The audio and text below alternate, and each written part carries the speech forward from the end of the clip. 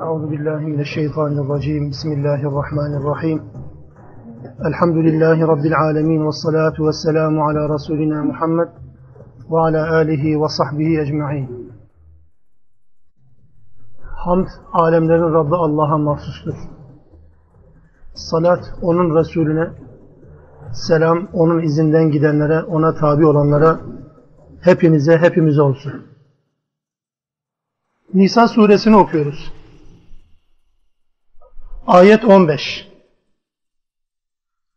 Bismillah. وَاللَّاتِ يَأْتِينَ الْفَاحِشَةَ مِنْ نِسَائِكُمْ Kadınlarınızdan hayasızlık yapanlar فَاسْتَشْهِدُوا عَلَيْهِنَّ أَرْبَعَةً مِنْكُمْ Sizden olan dört şahitle şahitlendirin. فَاِنْ شَهِدُوا فَاَمْسِكُوهُنَّ فِي الْبُيُوتِ حَتَّى يَتَوَفَّاهُنَّ الْمَوْتِ اَوْ يَجْعَلَ اللّٰهُ لَهُنَّ سَب۪يلًا Eğer dört şahit şahitlik yaparsa kadınlarınızın yaptığı ahlaksızlığa onları ya ölünceye kadar evlerinde hapsedin tutun ev yec'alallahu lehunne sebila ya da Allah onlara onların lehine onların yararına bir yol gösterinceye kadar evde tutun. 16. ayet وَالَّذَانِ يَأْتِيَانِهَا مِنْكُمْ فَآذُوهُمَا Ahlaksızlığı, yüz kızartıcı işleri, hayasızlığı yapan o ikisine de, iki erkeğe de eziyet ediniz. فَاِنْ تَابَا وَأَصْلَحَا Eğer tevbe eder ve hallerini düzeltirlerse فَاَعْرِضُوا عَنْهُمَا Onlardan vazgeçin. Eziyet vermekten, ceza vermekten vazgeçin. اِنَّ اللّٰهَ كَانَ tevvaben rahime. Şüphesiz ki Allah tevvaptır, tevbeleri kabul edendir, rahimdir, merhamet edendir. Nisa suresinin iki konusu, iki temel konusu sure boyunca bizimle birlikte olacak. Servetle ilişkimiz, malla ilişkimiz ve de insanlarla, çevremizdeki insanlarla, yakınlarımızla, ailemizle, akrabalarımız ve uzaktakilerle, hatta bizim dışımızdaki münafık Yahudi ve Hristiyanlarla ilişkilerimiz. Sure baştan sona bu iki konuyu birleşik halde bize sunacak. 11 ve 12. ayetlerde mirastan bahsetti Rabbimiz. Malla ilişkilerimizin servetle ilişkilerimizin tespitinde önemli olan ilkeler Rabbimiz anlattı bize. Bu kez 15. 16. ayetlere geldiğinde toplumda her zaman görülebilecek muhtemel olan ahlaksızlıklara karşı Müslümanların yapmaları gerekenin ne olduğunu anlatıyor. İnsanların yaptığı ahlaksızlığın görmezden gelinmesi imkanı yoktur İslam toplumunda. Müslüman toplumlarda birileri bir ahlaksızlık yaptığı zaman kadın ya da erkek Müslümanlara Müslümanların yetki verdiği otoriteye bazen de bireysel anlamda her bir Müslümana bazı görevler düşmektedir. İşte bu 15 ve 16. ayetlerde toplumda fahişe dediğimiz, Türkçe değil tabi, Kur'an'ı kavram olarak fahişelik yapanlar, ahlaksızlık yapanlar, haddi aşanlar, aşırı davrananlar, bulunmaları gereken yerde durmayıp da ileri gidenler. İşte buna Rabbimiz fahişe diyor. Ahlaksızlığın her türlüsünü kapsar bu kelime. Bunu yapanlara Müslümanların nasıl davranacağını Rabbimiz anlatacak. Anahtar terim fahişe diye geçer. وَاللّٰتِ يَأْتِينَ الْفَاحِشَةَ 16. ayet-i kerimede de يَأْتِيَانِهَا derken ha da yine fahişeyi gösterir. İster bunu erkek yapsın, ister kadın yapsın. Kendi haline bırakılmayacak. Bazı yaptırımlar Allah tarafından emredilmektedir Müslümanlara. Fahişe nedir peki? Bizim toplumda fahişe dendiği zaman, fahşa dendiği zaman sadece zina anlaşılır. Haddi zatında Kur'an'da da zinaya fahişe denir.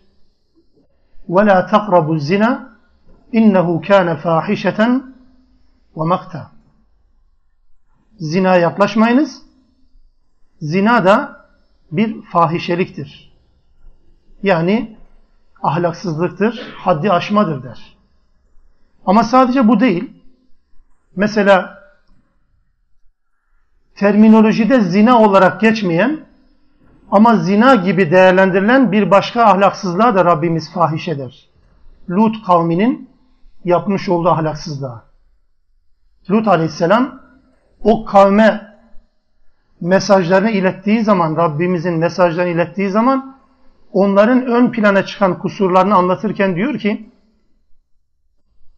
te'tûnel fâhişete siz fuhşiyat yapıyorsunuz.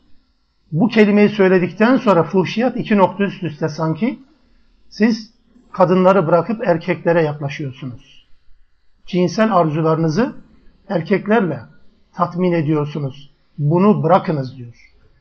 Ona da o bağlamda fuhşa ya da fahişe denir. Dolayısıyla fahişelik hem bildiğimiz anlamda erkek-kadın ilişkisi hem erkek-erkek ilişkisi anlamında da kullanılıyor. Yine fahişe zina ve ahlaksızlığın cinsel sapmanın dışında başka konular için de kullanılır. Mesela Ahzab suresinde peygamber hanımlarına hitaben Rabbimiz ey peygamber hanımları men ye'ti minkunne bi fahişetin mubeyyinetin der. İçinizden her kim apaçık bir fahişelik yaparsa bunun zina olmadığı belli. Peygamber hanımlarına ya nisa en nebi der. Bu insanın yapıldığı zaman insanın mahcup olmasını gerektiren, yüzünün kızarmasını gerektiren herhangi bir aşırılık olabilir. Malla ilişkilerde aşırılık mesela, aşırı servete girmede aşırılık ya da sözü aşırı kullanmada aşırılık, buna da fahşa denir. Peygamber hanımları için zina söz konusu olmayacağına göre herhangi bir ahlaksızlık, kategorik anlamda zinanın ötesinde farklı bir yüz kızarmasını neden ve gerektiren bir ahlaksızlık tanımlanmış olur. Dolayısıyla bu okuduğumuz 15. ayet-i kerime ve 16. ayet-i kerimede vurgulanan fahişeliğin adını net bir şekilde koymak yerine haddi aşmayı ifade eden her türlü ahlaksızlığı, cinsel anlamda değil sadece, onunla birlikte her türlü ahlaksızlığı içerisine alan, cinsel anlamdaki sapmayı da içerisine alan bir kelime. Fahişe kelimesi.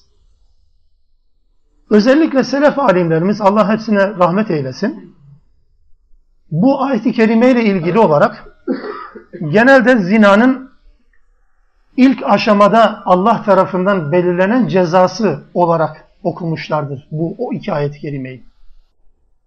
Nur suresinde zina eden erkek ve kadına yüz sopa vurulmasını emreden ayet gelmeden önce bu ayetin zina ile ilgili ilk cezai müeyyidenin nasıl olması gerektiğini anlatır diye bakmışlar ve öyle okumuşlar.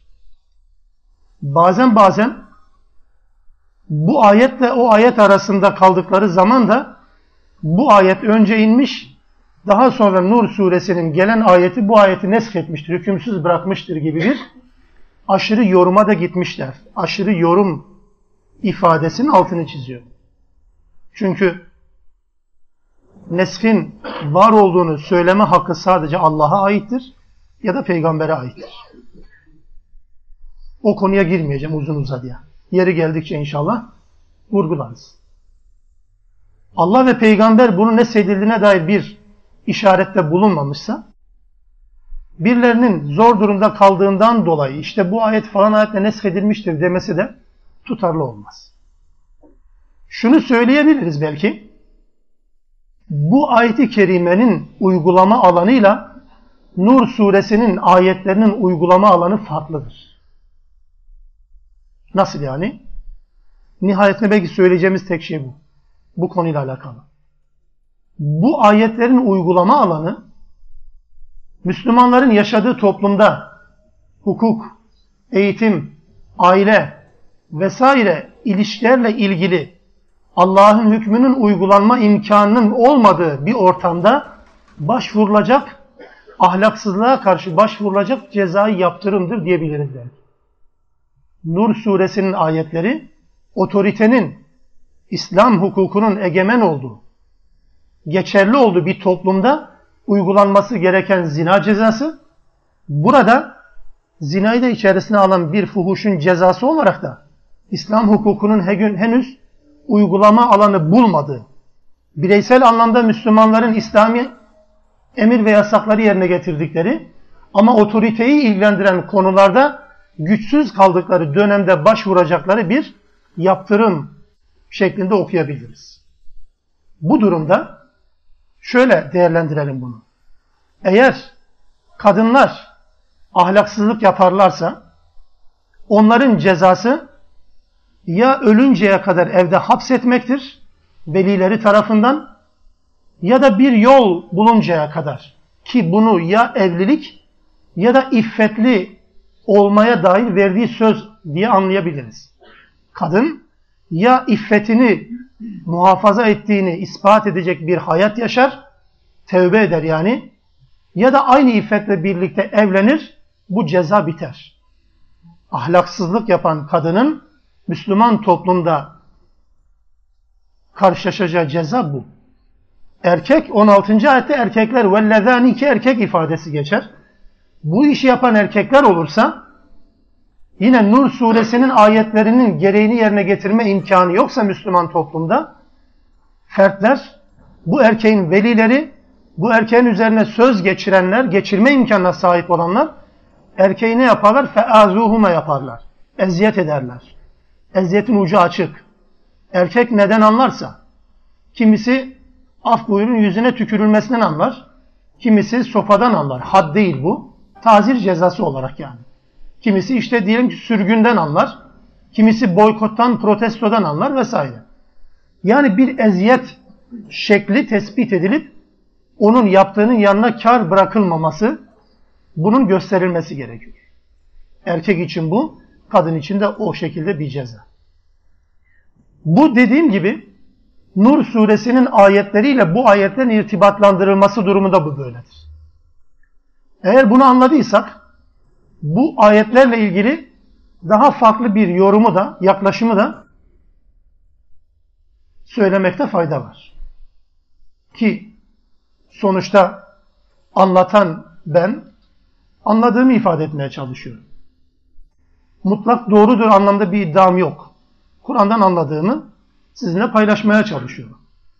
Yanlış olduğumu, olduğunu gördüğümüzde, öğrendiğimizde düzelteceğimiz fikirlerimiz, düşüncelerimiz olabilir tabii ki. Bu ayetlerle ilgili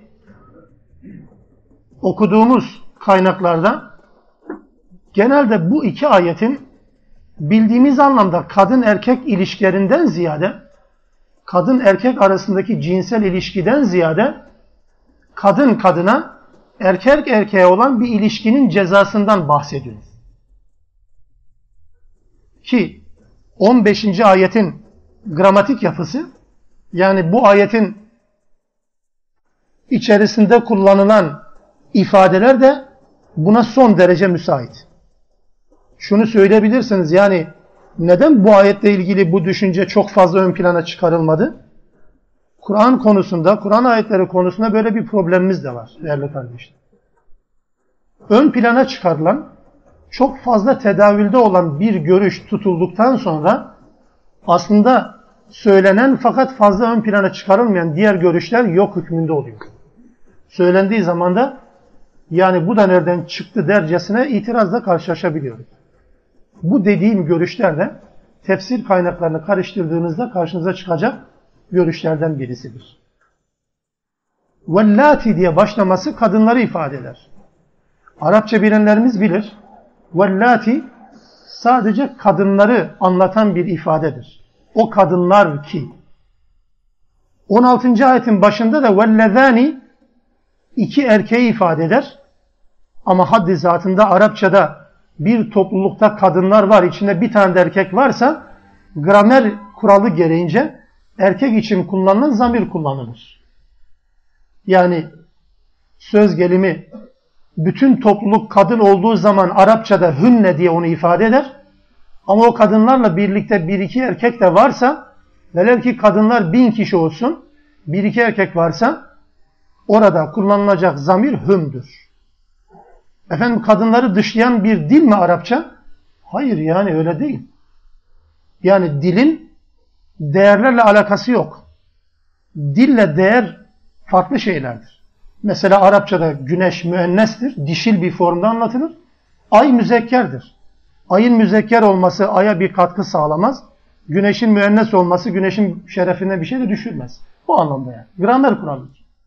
Dolayısıyla vellati kadınları, kadınların birbirleriyle olan cinsel sapmalarını anlatır.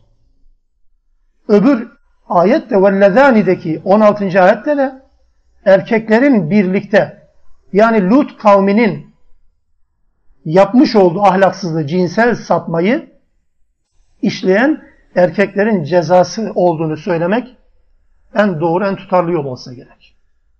Bu da söylenebilir. 15. ayet-i kerimede özellikle fahişe kelimesiyle birlikte bir de dört şahit konusu var. Yani ikisi birbiriyle irtibatlandırılması gereken kavramlar. Yani bu ahlaksızlık, kadınla ilgili ahlaksızlık, özellikle eğer dört şahit tarafından, dört kişi tarafından hem de minkum yani sizden kim? Müslümanlardan. Dört tane Müslüman şahit tarafından tespit edildiği zaman başvurulacak cezadır bu. Dört şahit ısrarı var Rabbimizin. Zinada da dört şahit var. Kimi muamelelerde iki şahit var. Ama burada dört şahit. Yani özellikle iffet ve namusu ilgilendiren bir konu kuvvetle muhtemeldir burada. Öyle bir konuyla alakalı bir iki kişinin şehadeti değil, dört kişinin şehadetiyle işin sonuçlandırılmasını istiyor Rabbimiz. Neden dört kişi? Yani nereden bulacağız da dört kişiyi? Dört kişi olmadan olmaz mı? Hayır olmaz. Hatta Nur suresinin ilk ayetlerine bakın. Eğer birisinin iffetine yönelik iftirada bulunuyorsa birisi, hadi diyelim ki iftira değil, adam gerçekten gördü, yalan söyleme imkanı olmayan bir Müslüman gördü bu fiili, bir ya da iki kişi gördüyse bunu, söylerse eğer ispat edemezse, dört şahit getiremezlerse, bu sözü söylediklerinden dolayı 80 sopa ceza var değil mi? İftira cezası. Peki ne yapacak bu? Susacak. Efendim sussa olur mu? E zaten İslam'ı eğer biz ceza vermek için suçlu arayan bir din olarak görürsek tabii ki böyle anlamayız. Suçlu ara, ceza vermek için suçlu arayan bir din değil İslam. Ya işlenen suçların toplumda konuşulmasını engelleyen bir dindir. Bakın, işlenen suçların yaygınlaşmasını demiyorum. İşlenen suçların konuşulmasını bile engeller din. Dört kişinin göreceği kadar hayasızca bu işi yapıyorsa artık o adamın cezalandırılması şarttır hükmü var. Dört kişi bir cemaat sayılır. Bu dört kişinin göreceği kadar yapıyorsa bu işleri, utanmıyorsa insanlardan, o zaman bunun cezasının verilmesi lazım. Bir iki kişi görürse onu kapatacak. Efendim olur mu? E kapatman lazım. Değilse 80 sopa yersin. Hatta bir adam hanımıyla böyle görürse birisini diye sahabinin birisi aklından geçiriyor bunu. Ne yapacağız diye. Yani hanımıyla gördü birisini. Allah korusun. E, dört şahit getirinceye kadar adam gider e bunu gizlerse bu evlilik devam etmez. Bunu arz ettiği zaman Allah Resulüne Nur suresinin yine ilk sayfasında okursanız ayetler karşınıza çıkar. Li'an ayetleri gelir. Li'anla bu çözülür. Yani kadın bunu reddeder Erkek de ısrarla bunu vurgular. Şahit yok. Karı koca olduklarından dolayı beş defa lanetle yemin eder ve bu iş biter evlilik boşanmayla noktalar. Böyle bir evlilik devam etmezler. Diyeceğim şu.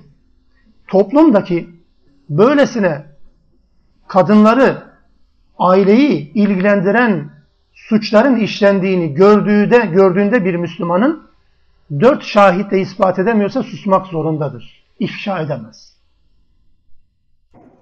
Yani Müslüman ne söyleyeceğini kulağa duyan insandır Müslüman. Söylediği zaman ispat edecek. Değilse cezayı kendisi yer. Allah Resulü bundan dolayı mümkün mertebe bu tür suçları örtbas edin diyor. Hatta dört şahit görüldüğü zaman bunu mahkemeye, yargıya intikal etmemesi de bir fazilettir. Ha. Allah Resulü hadislerini öğreniyoruz. Dört kişi gördüğünde bunu mümkün mertebe, beşinci kişi görmemişse artık mümkün mertebe gizlemekten yanadır. Niye? Toplumda birileri bu suçun işlendiğinden cesaret almasın. Bu ilkeye bugün ne kadar muhtacız değil mi? Herkes yaptığı ahlaksızlıkları alabildiğine söylüyor. Hiç de utanma yok. Bunu söyleyemezsiniz. İslam buna yasak getiriyor. Onun için dört şahittir. Peki efendim yani kamera sistemiyle falan şu? Hayır olmaz. Yani bilimselliğe aykırı ya da bilimselliğe cephe almış birisi olarak görmeyin. Bunu söyleyen zaten. Anlatabiliyor muyum? Bilimsellikle bu işler tespit edilmez. Eğer siz Allah'ın hükümlerini o günün şartlarında bilimin tespitleri buluşlarının olmadığından dolayı böyledir derseniz, bilim gelişti bugün farklı çözümler getiririz derseniz, İslam'ın özellikle aile hukukuyla ilgili hükümlerin birçoğu çöker. Kimi zavallı Müslümanların da buna yönelik tespitleri var, acıyarak okuyorum. Mesela kadınların boşandığı zaman, kadınların kocası vefat ettiği zaman bekleyeceği iddet. 3 ay, 4 ay 10 gün ya da doğumuna kadar belli iddet süreleri var. Bu iddeti geçmedikçe kadın bir başkasıyla evlenemez. Boşanmış veya kocası ölmüş kadın. Şimdi siz kalkıp bugün efendim yani ultrasonografi, DNA testleri, gen tespitleri şudur budur diye yani kadının rahminde çocuk var mı yok mu? Cinsiyetini, cibilliyetini belli edecek, tespit edecek veriler var elimizde diyerek bunu iptal mi edeceksiniz şimdi? Olmadı ki. O zaman o ayetlerin hepsi bitti. Mesele teknolojiyle izah edilmez, ispat edilmez. Teknolojinin kullanılacağı Allah'ın hakkında söz söylemediği alanlarda tamam. Ama bu noktada kamerayla bunu yapamazsınız. Çünkü kamera her zaman şüpheyi beraberinde getirir. Evet. Dolayısıyla böyle bir ispatla kadınların Rabbimizin fahşa dediği, fahişe dediği şeyi, o ahlaksızlığı, o iğrençliği, o hayasızlığı yapanlar dört şahitle ispat edildiği zaman ölünceye kadar evde tutulma veya iffetini tekrar iade edip, tevbe istiğfar edip yeni bir evlilik hayatına devam etme süresine kadar evde tutulacaktır. Yani toplumdan tecrit edilecek bu kadın. Ama erkek olursa bu işi yapanlar onlara da eziyet edilecek. Ucu açık. Dediğim gibi neden anlıyorsa, hangi ceza, hangi yaptırım daha etkiliyse onu yapacak. Ayet-i Kerime'de bu cezalar verildikten, verilmesi istendikten sonra der ki فَاِنْ تَابَا وَأَصْلَحَا Eğer tevbe eder ve ıslah ederlerse kendilerini فَاَعْرِضُ anhuma Onlardan mahallerimizde bu kelimenin karşılığı onlardan yüz çevirin der. فَاَعْرِضُ anhuma Onlardan yüz çevirin.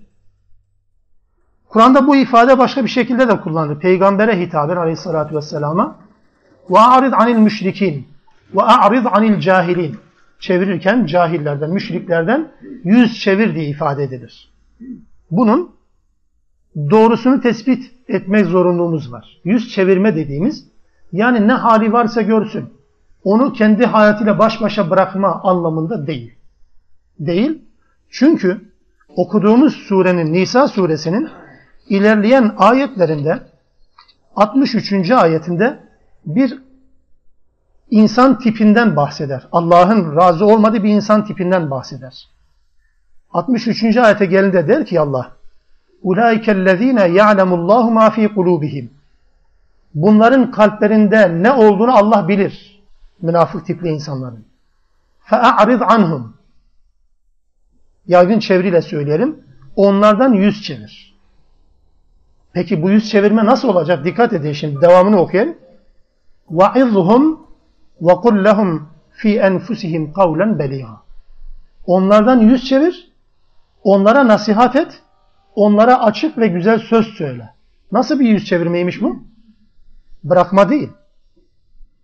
Bu ahlaksızlığı yapanlardan yüz çevirmek demek. Onları terk etmek demek değil ya. Nasihat etmeye devam edilecek. Sözün en güzeli onlara anlatılmaya devam edilecek. Peki ne diyeceğiz buna a'ride? Onlarla birlik olma. Aynı düşünceyi paylaşma. Aynı ortamda o yaptıkları harekete ses çıkarmıyormuş gibi bir görüntü vererek bulunma. Budur. Farid budur. Peygambere de a'rid anil müşrikin dediğinde peygamber hangi müşriği bıraktı kendi haline? Var mı böyle bir örnek? Terk ettiği, tamam artık bundan adam olmaz dedi bir tane müşrik var mı? Yok. Niye? Çünkü Allah dedi ki a'rid ama vaizhum değil mi? Yüz çevir. Yani onlarla birlik olma. Aynı düşünceyi paylaşma. Aynı ortamda onların hareketlerini onaylayan bir görüntüyle durma anlamınadır. Dolayısıyla bu şekilde. Bunlardan evet yüz çevrilecek. Bunların yaptıklarına seyirci kalma gibi bir imaj oluşturulmayacak. Bu şekilde iraz edilecek onlardan.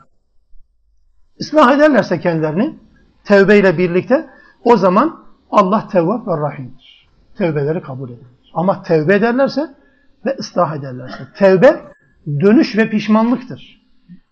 Tevbe etmek dönüş ve pişmanlıktır. Islah ise bu dönüşten ve pişmanlıktan sonraki vazgeçilmez aşamadır. Bütün günahlar için bu geçerli. Hangi günahtan tevbe ediyorsanız, yani pişman oluyorsanız, arkasından ıslah yapıyorsanız o hayatınızdaki o problemli konuyu, davranışı, ıslah ediyorsanız bu tevbenin şartları gerçekleşmiş demektir. Pişman olacak, sonra ıslah edecek, düzeltecek kendisini. Bir adam pişman olmadan ıslah eder mi kendisini? Eder ama bu tevbe olmaz bakınız. Adam pişman olmadıysa ıslah etmesi tevbe demek değildir. Pişman olacak. Mesela toplumumuzda Müslümanların en büyük zaaflarından birisi namaz kılmamak. Yani nasıl bir ifade kullandık fark ettik mi? Müslümanların en büyük zaafı namaz kılmamak. Yani bu iki kelimeyi peygamber döneminde yan yana getiremezsiniz ki. Ama yani biz de bilmeyerek böyle ağzımızdan çıktı. Müslüman olduğunu söyleyen ama namaz kılmayanlar. Belli bir süre sonra namaz kılmaya başlıyor. Islah etti. Ama geçmişte namaz kılmadığından dolayı pişman değilse o kılmadıklarının vebalini, cezasını çekerler. Pişmanlık olmak zorunda. Anlatabiliyor muyum? Bir adam içkiyi bıraktı. Tamam bıraktı. Ama geçmişte içtiğinden dolayı pişman değilse bu tevbe sayılmaz ki. Pişman olacak ve halini düzeltecek. İşte bundan dolayı bu adam tevbe edecek, pişman olacak yaptığına. İspatı ne? Halini düzeltecek. Yani önce ne yapıyor idiyse onun tersini yapacak. Te ıslahın anlamı bu. Bir günahla ilgili ıslah budur. Daha önce ne yapıyor idiyse o zaman tersini yapmış olur. Yalan mı söylüyordu? Doğru söyleyecek. Gıybet mi ediyordu? Gıybeti terk edecek. Faiz mi kullanıyordu, alıyordu? Terk edecek. Islah olmadı mı? Pişmanlık sadece ifade bir şey ifade etmez. Pişmanlık olmadı mı ıslah da sadece bir şey ifade ediyor. Peki Allah tevvaptır. Herkese mi?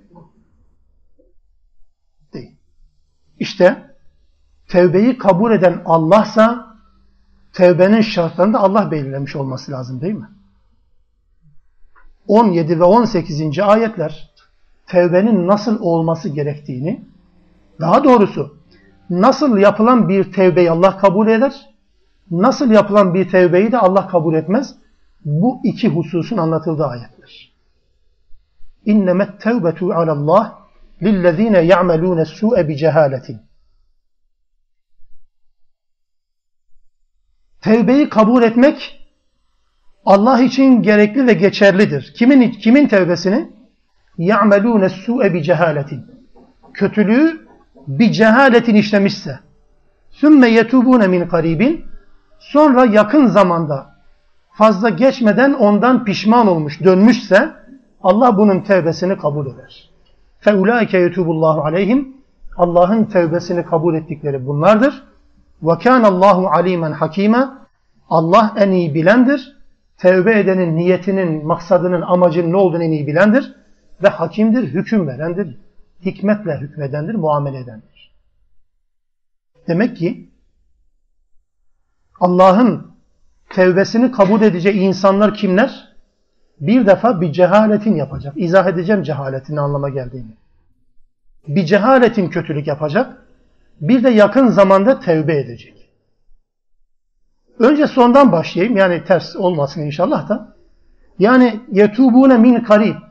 Hemen yakından tevbe edecek. Bir amel işledi mi hemen en yakın zamanda tevbe edecek.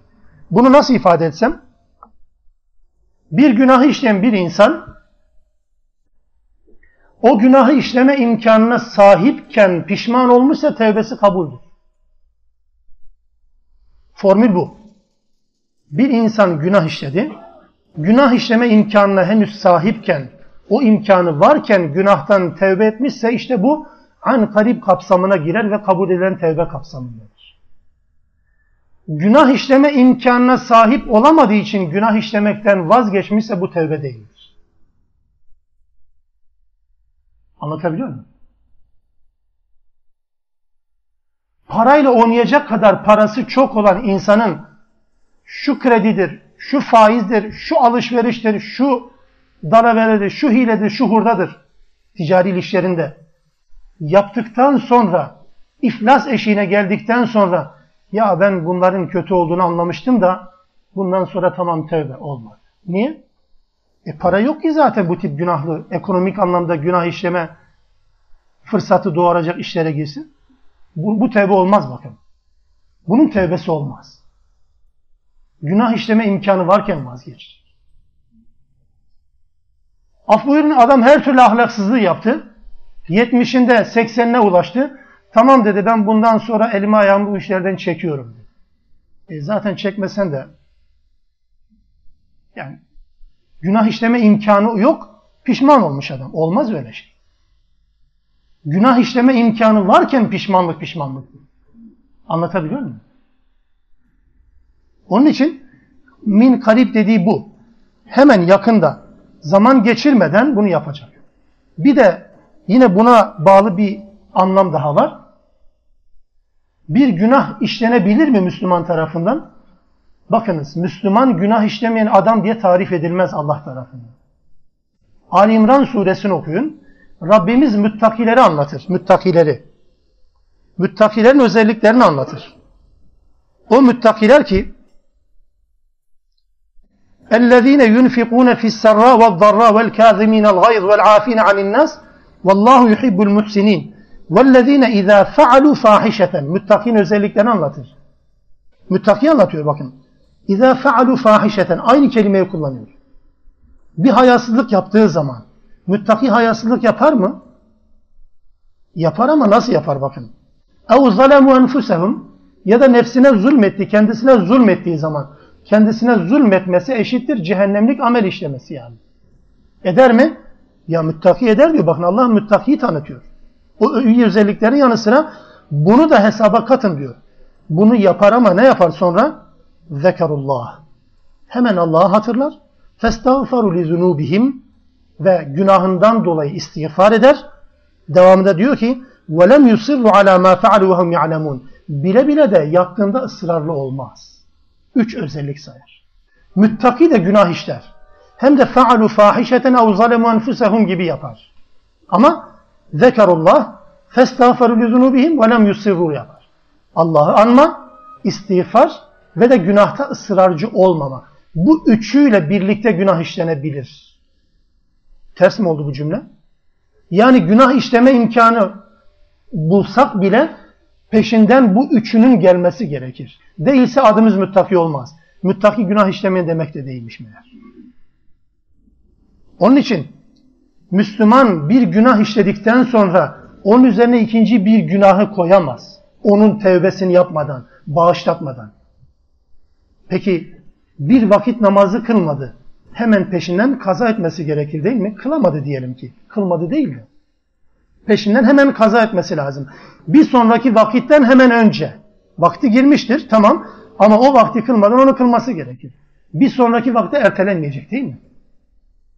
Peki namaz kılmayan kardeşlerimiz nasıl tevbe edecekler peki? Nasıl nasıl yani böyle bir günah işlenebiliyor ki? Günlerce kılmıyor, haftalarca kılmıyor, aylarca kılmıyor, hatta yıllarca kılmıyor. Yani o zaman bu yaptığından pişman değildir. Ha, bu adam demek ki bu günahı bilerek ve ısrarla işliyor. Bu adamın pili bitiktir. Bu adamın işi bitmiştir. Olmaz öyle şey. Ben namaz örneğini verdim. Siz bütün günahlar için söyleyin. Bir günahı ısrarla işleyemezsiniz. İşlerseniz ne olur? İnanın işiniz zor. Yani kafir olursunuz diyemiyorum. Böyle bir yetkim yok elbette. Bunu söyleyecek bir bilgiye de sahip değilim. Ama işiniz Allah'a kalmıştır. Allah affeder mi bilmiyorum. Allah'ın affedeceğini haber verdiği kimselerden değilsiniz o zaman. Onu sadece söyleyebilirim. Allah'ın affedeceğini söyleyen kişilerden değilsiniz. Günah hemen bağışlatılmalı. Anlatabiliyor muyum? Ankari bu. Yani günahı pazarlıklı işleyemezsiniz. Günahın günah olduğunu bilerek, bilerek, isteyerek yapamazsınız. Onun için ayetin başında يَعْمَلُونَ سُوءَ بِجَهَالَةٍ dedi. Cehaletle. Eşittir bilgisizlik mi? Hayır. Öyle değil. Özellikle günahın işlenmesiyle alakalı geçen ayetlere baktığınız zaman hep bir cehaletin kaydını görürsünüz. Bilmeden değil yani peki nedir o zaman cehalet? Bilgisizliğin ötesindedir bakın. Bunu şöyle formüle edelim öyle aklımıza kalsın inşallah. Cehaletle bir işi yapmak demek tevbe bağlamında, kötü amel bağlamında ifade etmeye çalışıyorum. Dikkat buyurun buraya. Cehaletle kötülük işlemek demek o kötülüğü işlediğimizde kontrolümüzü kaybettiğimiz ya da aklımızın devreden çıktığını anlıyoruz. Cehaletle dediğimiz bu. Bir kötülüğü cehaletle işlemek eşittir. O kötülük yapılırken aklın devreden çıkması, kontrolün kaybedilmesidir. Bakın, kötülüğün kötülük olduğunu bilse de eğer akıl devreden çıkıyorsa, kontrol kaybediliyorsa şu veya bu nedenle fark etmez. Ama bakın, akıl devre dışı kaldı, kontrol kaybedildi. İşte bu bir cehaletin olmuş olur. E zaten bilmeden işlenen kötülük e zaten mazur sayılır değil mi? İşleyen tarafından mazur sayılır. O anlamda değil, bilmeden değil bu. Kötülüğün kötülük olduğunu bilir ama bir anda tongaya düştü canım. Yani bu anlamda. Aklı devre dışı kaldı. Kontrolün kaybetti ve kötülük işledi. Bunun ispatı nedir peki? Aklın devre dışı kaldı, kontrol dışı kaldığın ispatı nedir? O kötülüğü yaptıktan sonra aklı başına gelecek ya tekrar. Sürekli kontrol dışı kalacak değil ya. Aklı başına geldiği zaman ne yapar? Onu düzeltir. Eğer düzeltmiyorsa ha bu adam aklı devre dışı kaldığından dolayı bunu işledi diyemezsiniz. Ya bilerek yaptı dersiniz. Bir cehaletin bu. Cehalet Kur'an-ı Kerim'de bilgisizlik, bilmeme anlamında kullanılır ama birçok yerde de bu anlamda kullanılır. Mesela En'am suresinde Hazreti Peygamber'e hitaben bir ayet var. Müşriklerin gelip peygamberle pazarlık yaptıkları sırada yani şu garibanları, kimsesizleri, cebi omuzu kalabalık olmayanları yanından kov da biz öyle gelelim sen yan entelektüeller olarak dedikleri zaman Hazreti Peygamber ya acaba dedi yani bunların sözünü dinlesem de onlara farklı bir gün, farklı bir oturum, farklı bir toplantı yapsam zengin kesim, elit kesim için acaba akılları başlarına gelir mi? Peşinden de birçok insan Müslüman olur mu diye içinden geçiriyordu ki Allah Resulüne En'am suresi 35. ayet numarasını da vereyim önümde duruyor çünkü. Diyor ki eğer onların yüz çevirmesinden çevirmesinden dolayı zorlandıysan zoruna mı gitti? İlla onları hidayete getirmek mi istiyorsun? O zaman gökyüzüne bir merdiven daya ya da yeryüzün, yeryüzünün derinliklerine gir tünel aç onlara ayet getir ve iman etmelerini sağla. Ama diyor ki Allah فَلَا تَكُونَنَّ مِنَ الْجَاهِلِينَ Sakın cahillerden olma. Peygamber cahil mi? Haşa. Cahillerden olma dediği Allah Resulü biliyor ki bu yanlış. Ama olabilir ki faydası olabilir. Bir anda akıl devre dışı kalabilir. Peygamberi baştan uyarıyor. Sakın cahillerden olma. Bir de yine buna benzer bir ifadeyi biz Hazreti Yusuf'tan da öğreniyoruz. Orada da Yusuf Mısır'a götürüldükten sonra saray entrikaları, kadın çevresi tarafından rahatsız edildikten sonra şöyle bir duasını Rabbimiz Yusuf suresinde anlatır. Kale der ki Rabbi sicnu ahabbu ileyye mimma yed'uneni ileyh. Bunların beni çağırdığı bu ahlaksızlıktansa hapse girmeyi tercih ederim. Hapis benim için bunların çağırdıklarından daha hayırlı. Ey Rabbim. Ve illa tasrif anni keydehunne eğer onların tuzağını benden alıkoymazsan, savmazsan as bu ileyhinne. Ben onlara meylederim diyor Yusuf Aleyhisselam. Ve ekun minel cahilin. Cahillerden olun. Onun kötülük olduğunu biliyor değil mi? Nasıl cehalet bu? Aklın kontrolden çıkması. Kadınların entrikasına kapılırım, kendimi kaybederim. Ya Rabbi benden bunların entrikalarını sav diyor. Cehalet bu. Bilmemezlik değil. Hatta yine ilerleyen ayetlerden Yusuf Aleyhisselam Mısır'da bakandır, hazinenin bakanıdır. Kardeşleri kendisini tanımadıkları bir halde onun huzurundadır. Yusuf Aleyhisselam kendisine onların yaptıklarını hatırlatırken der ki Hel alimtum ma faaltum bi Yusuf ve ahihi iz entum cahilun Yusuf'a ve kardeşine yaptığınızı, cehalet, cahilken yaptığınızı, cahillikle yaptığınızı biliyorsunuz değil mi diyor. Peki bilmeden mi yaptılar? Yok canım. Bilerek, tasarlayarak, planlayarak, kurgulayarak yaptılar. O zaman nedir cehalet? Aklınız devre dışı kaldı. Hırs gözünüzü bürüdü. İlla da Yusuf'tan kurtulacağız dediniz. Aklınız devre dışı kaldı ve bunu yaptınız. Sonra e sonra pişman oldunuz ve işten geçti tabii. Cehalet dediğimiz işte bu. Dolayısıyla kötülüğü cehaletle işleyenlerin ve bu kötülüklerinden hemen arkasından pişman olanların tevbesini Allah kabul eder. Değilse, değilse Allah kabul etmeyecektir.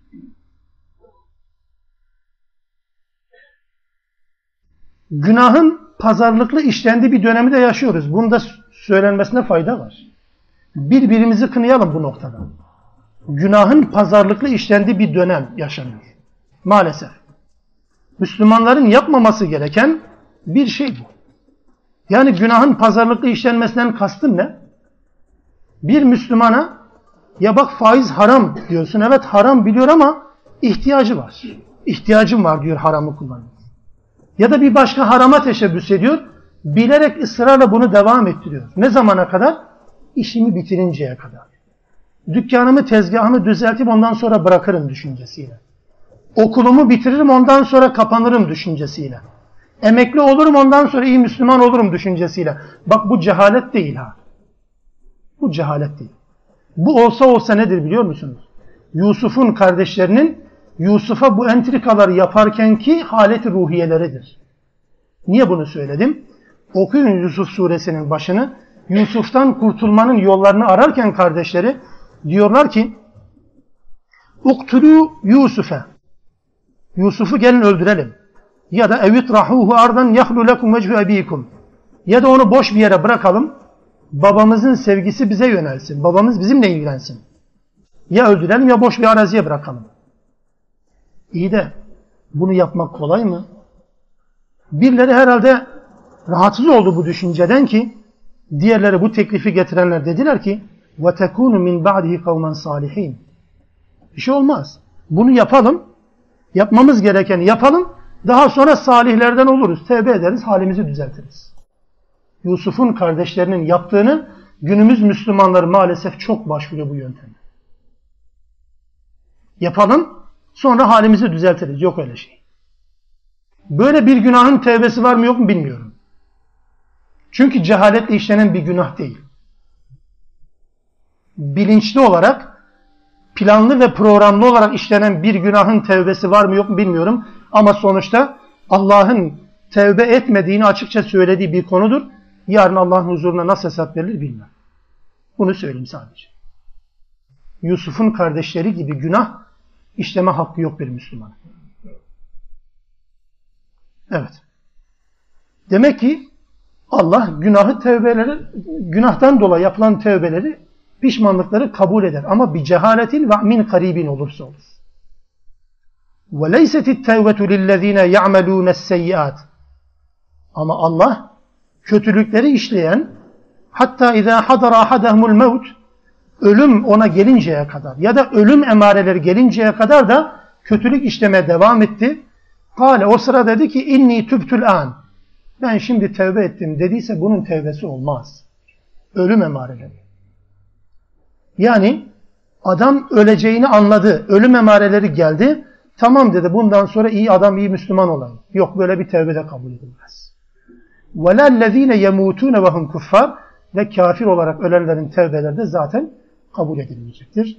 اُولَٰئِكَ عَتَدْنَا لَهُمْ عَذَابًا اَل۪يمًا Böyleleri yani günahından pişman olmadan huzurumuza gelenler için elim bir azap hazırladı. Allah korusun. Elim bir azap. Günahkarız. Günahkar olduğumuzu biliyoruz. İtiraf ediyoruz. Düzeltme yoluna gidelim bakınız. Düzeltme yoluna. Bakınız bu dönemlerde Müslümanlar yaptıkları duaların kabul edilmemesinden yakınıyor değil mi? En azından bir görüntüye göre. Bunun formülü çok basit. Çok basittir. Bunun neden böyle olduğunu söylemek için hadise baktığınız zaman yeter. Allah Resulü elini açan hem de yolculuğun meşakkati üzerinde izleri görüldüğü halde elini açıp Allah'a yalvaran bir insanın duasından bahseder. Toza bulanmış, ellerini açmış, Ya Rab, Ya Rab diyor. Yediği haram, içtiği haram, giydiği haram haramla beslenmiş. Nereden bunun duası kabul edilecek diye Allah Resulü bir insan tarifi yapar. Midenize, kursağınıza haram girdiyse emir olun dualarınızın kabul edilmesinin en büyük engeli odur. Sadece kazanma şeklinin haram olmasından bahsetmiyorum bakın değerli kardeşlerim. Hep oraya takılmayalım. Adam faiz aldı haram yedi. Adam rüşvet aldı haram yedi. Adam kumar aldı haram yedi. Öyle değil sadece. Ya mesela çalışırken Allah'ın razı olmadığı bir şekilde çalışıyorsanız yine kazandığınız haram. Bak kimseye zulmetmediniz. Faiz almadınız. Ama çalışırken Allah'ın kurallarına riayet etmediniz. Ne dediğimi iyi anladınız değil mi? Allah'ın rızasına uygun hareket etmeden çalışıyorsunuz değil mi? Aldığınız kazanç da haram. Yani haram sadece birinin elinden almak değil ki. Sadece rüşvet almak değil, sadece faiz almak değil ki. Haram yiyorsunuz. Arkasına Ya Rab niye duamız kabul edilmiyor? Tenzih ederim sizi. Ama içinde yaşadığımız toplumun gerçeği bu. Kazançları helale dönüştürmedikçe dualarımız kabul edilmeyecektir. Önce kendimizi temizlemek zorundayız. Dualarımızın kabul edileceği bir hale dönüşmek zorundayız. Hatta bu anlamda bir Müslüman hacca giderken hani diyoruz ya hac dönüşünde format atmış halde döner diyoruz ya sıfırlanmış sıfır kilometre. O ne zaman mümkün olur biliyor musunuz? Pişman olarak gitmişse sıfırlanmış olarak gelir. Adam yaptığından pişman değilse hele şimdi hacca gidip gelelim orada bir tevbe istiğfar ederiz dönüş yap. Öyle değil. Yani pişmanlık olmadan Kabe gitmenin de ona sağlayacağı bir fayda olmaz. Böyle bir bağışlama sisteminin olduğunu ben bilmiyorum şahsen. Yani hacca gitmeden önce pişman olmamış, yaptıklarını terk etmemiş, yaptıklarından dolayı gözyaşı dökmemiş bir insan hacca gidecek. Sonra da dönünce hacı mebrur olan anasından doğduğu gün gibi. Ben böyle bir şey bilmiyorum şahsen. Onun için günahlarımızı itiraf edelim. Evet ama günahlarımızı telafi etmenin, silmenin yollarını kendimiz aramak zorundayız. Demek ki ertelemeyeceğiz işlediğimiz günahları. Bakın bir günde aynı günah işledik. Ciddi anlamda tevbe etmek şartıyla günün ortasında gene işlese gene tevbe etmek zorundayız. Bakın pazarlıklı değil bu anlamda söylemiyorum. Ama olur yani akıl yine devre dışı kalabilir. Ama ciddi anlamda pişman olduysanız olsun bir daha tevbe edin. Ama tevbe etmeden ikinci günaha adım atmayın. Olmaz öyle şey. Böyle bir günah işleme modeli de yok yani sahabide. Ashab-ı kiramda yok böyle bir günah işleme modeli. İşlediği günahı yok saymış, üzerine yapmış. Hele sonra ertele, sonra tevbe, böyle bir şey yok. Ne zaman günah işledi? Hemen anda tevbe. Mesela bir örnek hatırlayayım sadece. Hatırlatayım.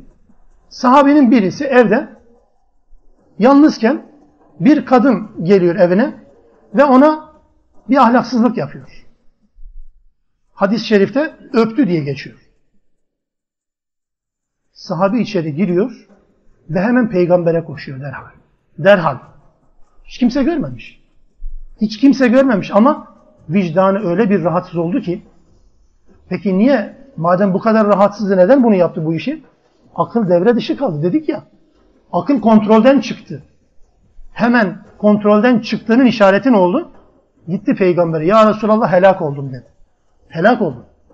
Ne oldu? Meseleyi anlattı. Namaz kılmasını tavsiye etti ki namaz kılacaksınız dedi. Namazdan sonra yine Resulullah hatırlattı. Ya de şimdi namaz kıldın ya istiğfar ettin ya onu bitirdi.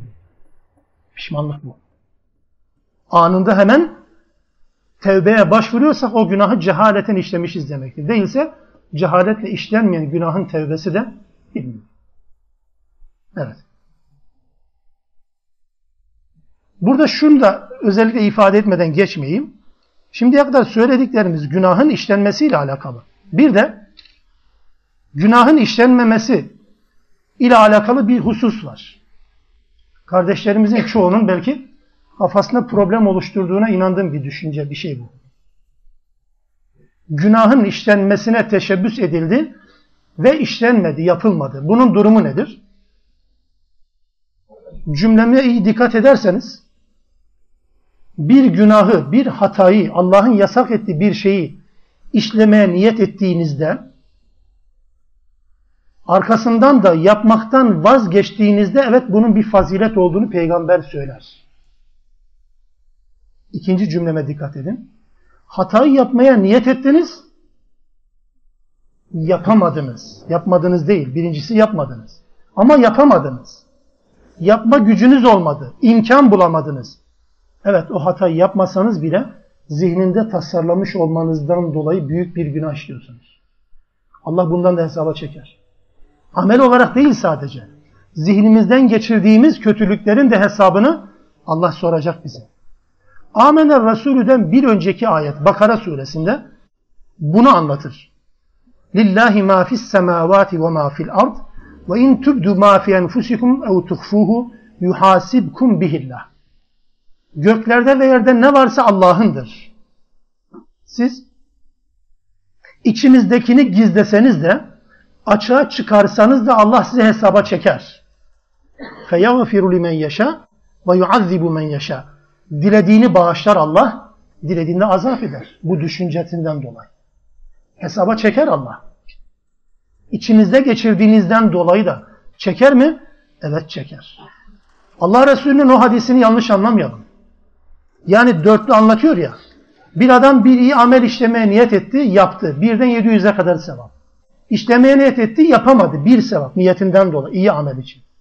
Kötülük işlemeye niyet etti, yapmadı. Yapamadı değil bak hadiste öyle değil. Yapmadı, bir sevap. Bir kötülük işlemeye niyet etti ve sonra yaptı. Neyse onun günahı o kadar. Mesela yaşanan bir örneği söyleyeyim. Ev alacak kardeşimiz. Biraz hazır parası var. E, yetmiyor. Evde almak zorunda ya mecburen almak alması gerekiyor. Yani Allah'ın haramları falan zaten ya olmaz mecbur alacağım diyor.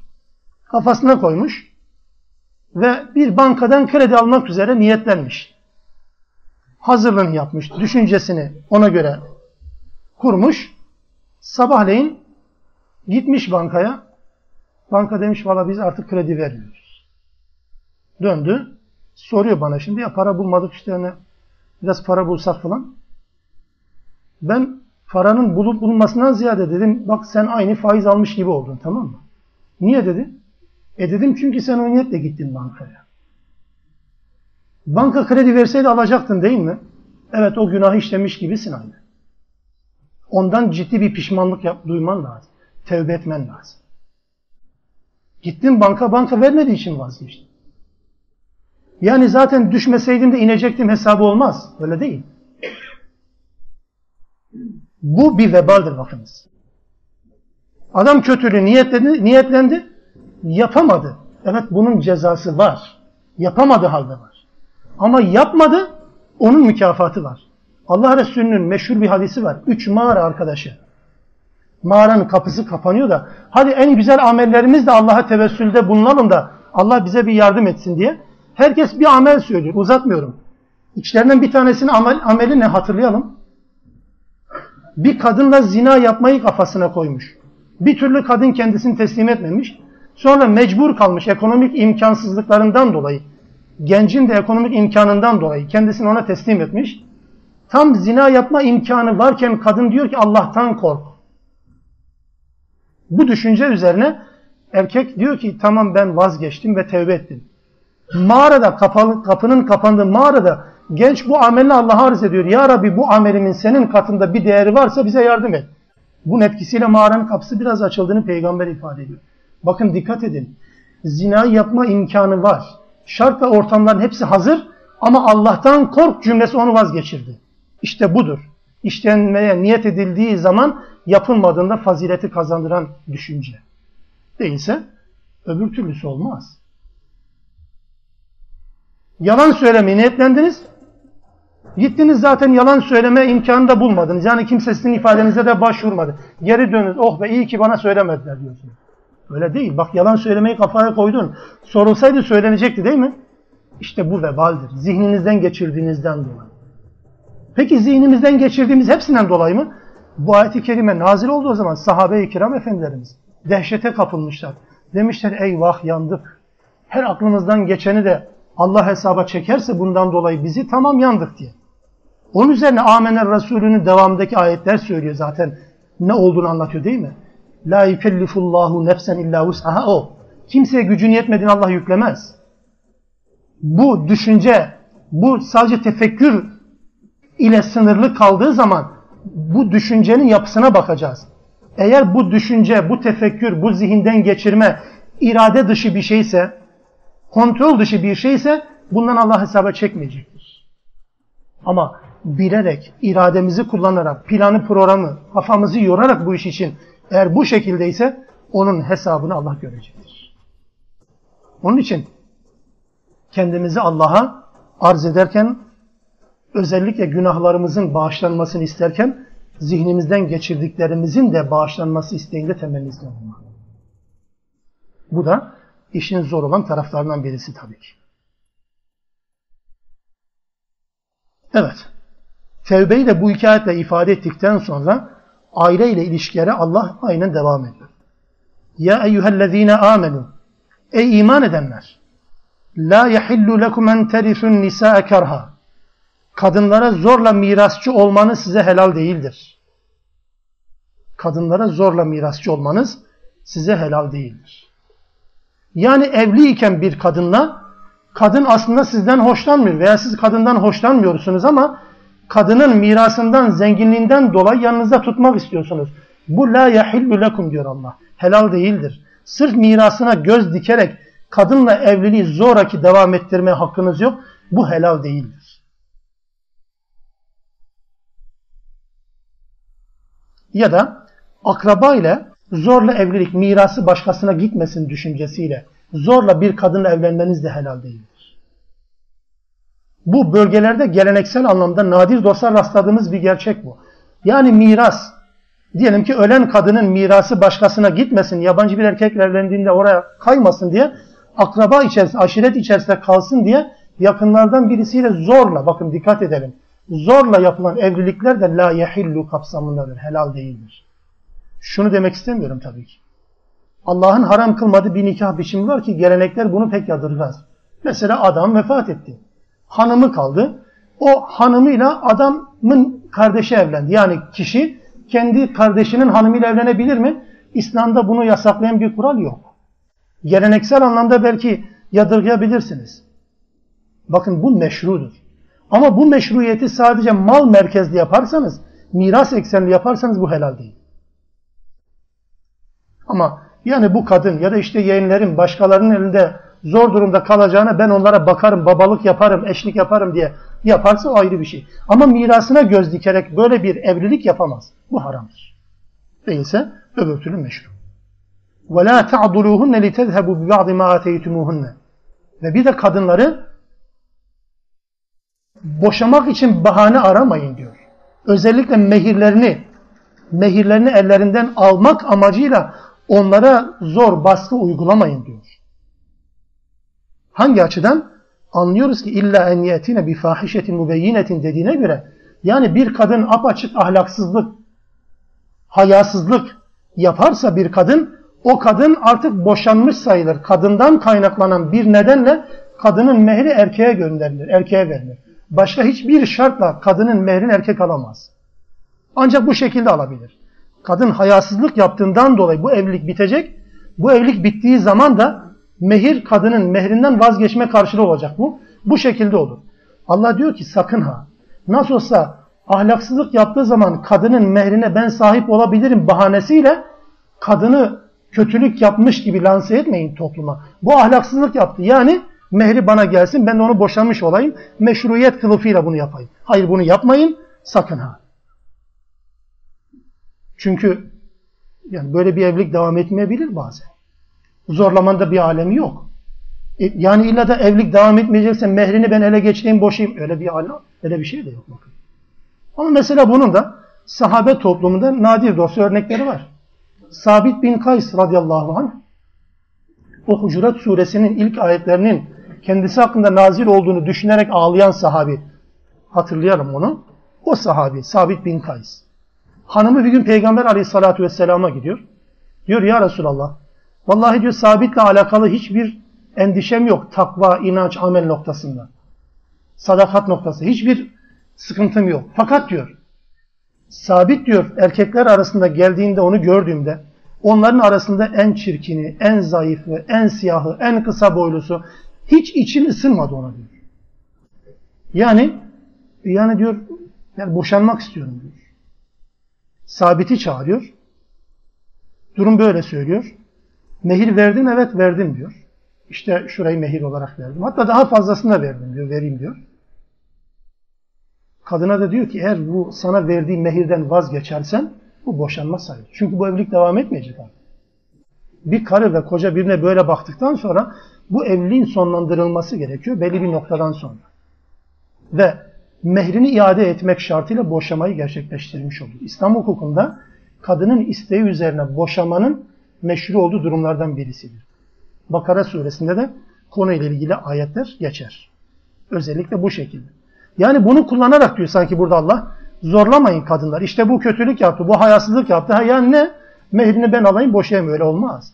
Ve aşiruhunne bil ma'ruf ve onlarla maruf ölçüde güzellikle muamele ediniz kadınlara.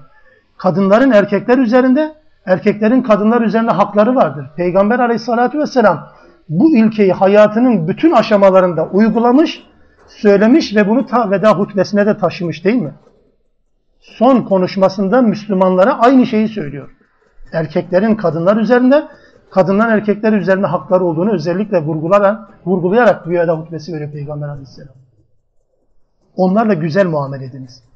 Erkeklerin kadınlara karşı zalim tavırlar içerisinde olduğu gibi bir imaj var Müslüman toplumda. Müslümanın böyle bir şey hakkı yok. Bu imajı oluşturmaya hakkı yok bir Müslüman. Ama buna karşılık tabi erkek erkeğe konuşurken rahat konuşuyoruz da buna karşılık kadınların da erkeklerine, kocalarına, nikahla bağlandıkları kocalarına itaat etme zorunlulukları da var onu da söyleyeyim.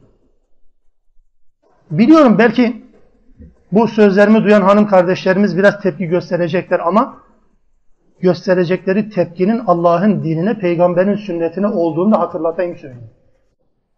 Müslüman kadın kocasına, kocası kendisine meşru bir şeyde istekte bulunduğu sürece itaat etmek zorundadır. Geçmişte, yakın geçmişte kadın çocuğunu emziremez gibi bir hüküm verildi değil mi zaman içerisinde? Emzirmek zorunda değil, bulaşık yıkamak zorunda değil, itaat etmek, yani şunu yapmak bunu yapmak zorunda değil. Bakın, kadının iki türlü görevi var. Birisi Allah dediği için yapmak zorunda olduğu görevler, birisi de kavvamun olan eşlerinin söylemesinden dolayı yapmak zorunda olduğu görevler var. Namaz, hac, oruç, ibadet vesaire benzer bunların hepsi Allah dedi diye. Bir de aynı şekilde ibadet olarak görülen hususlar var ki koca kadınına bir şey söylediğinde yapması itaattir ve buna bir fazilet, bir erdem olarak görüyor Peygamber aleyhissalatü vesselam. Meşru bir şey istediği sürece onu yapmak zorundadır. Bakın çok basit bir örnek vereyim. Bir bardak suyu getirmek zorunda değil temelde öyle. Ama mesela koca bana bir bardak su getir dediği zaman bu kadının kocasına itaat etmesi zorunluluktur, bir farzdır. Buradan bir başka hususa geçeyim isterseniz. Bir kadının kocasının annesine babasına bakma zorunluluğu yok temelde. Kaynana kayınvalide dediğimiz şey. Toplumun belki çok karşılaştığı problemlerden birisi. Mecbur mu? Mecbur değil. Peki ya koca meşru çerçevede, meşru ölçekte hanımından böyle bir şey isterse itaat etme zorunluluğu yok mu? İtaat etmezse asi olur bu kadın. Bunu da bilelim. Asi olur. Ya kocasının kendisinden böyle bir istekte bulunmamasını sağlayacak kadın ya da koca her halükarda böyle bir istekte bulunursa meşru ve bunu yapmak zorunda itaat noktasında böyle bir bağlılık var. Aynı baba evlat ilişkisinde de böyle bir şey var. Ama erkeklere düşen ve aşiruhunne bil ma'ruf. Kadınlarla güzellikle geçinin. Fe in kerihtumuhunne eğer onları hoş karşılamazsanız yani onlarda hoşlanmadığınız bir şey varsa fe asa en tekrahu şey'en ve yec'alallahu fihi hayran kesira. Kim bilir? Belki de Allah onlarda bir hayır meydana getirmiştir de sizin kerih gördüğünüzde güzel bir sonuç çıkabilir. Yani sizin onlardan hoşlanmadığınız, bundan dolayı da katlandığınız bir hayatın sonunda Allah belki bunu cennete vesile kılar. Buna katlanın diyor Allah. Anlatabiliyor muyum? Yani kadında hoşlanmadığınız bir şey olabilir. Hayat çekilmez hale geldi diyebilirsiniz. Kafanız şişebilir. Problem yaşayabilirsiniz. Ama Allah diyor ki bakın Allah belki de bu yaşadığınız problemlere katlanmanızdan, sabrınızdan, tahammülünüzden dolayı Allah bundan çok daha hayırlı bir netice de oluşturmuştur belki. Kim bilir bir de böyle düşünün. Bir de mesele bu açıdan bakın diye Rabbimiz bize davette bulunuyor. Subhaneke Allahümme bihamdik. Eşhedü en la ilahe illa ente estağfiruk ve etûbü.